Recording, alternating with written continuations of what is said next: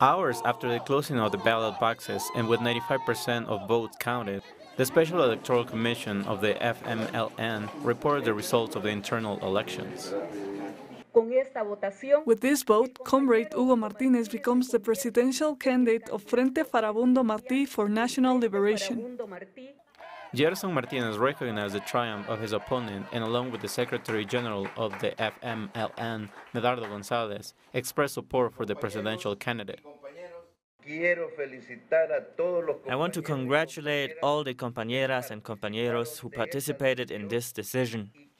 We have very clearly now selected and participated in making this decision to have our comrade Hugo Martinez represent us in this electoral political struggle. Following the announcement of his victory, Hugo Martinez celebrated the triumph with his followers and committed to work towards improving security, the economy, and the continuation of social programs. I want to say to the country that we have heard the message. To you, my friends of the Salvadoran population, we have taken this message and we will make all adjustments necessary to be closer to the people. The message, which Hugo Martinez has referred to, was the unfavorable results in the March 4th legislative and mayoral elections, where the FMLN lost ground.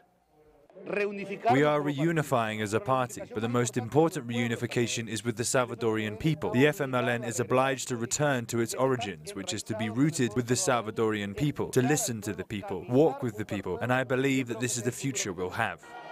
Hugo Martinez announced that he will begin a large-scale national mobilization to be able to reach out to the people and get to know their issues. To develop a government plan to guarantee the population a third term of the country's leftist party.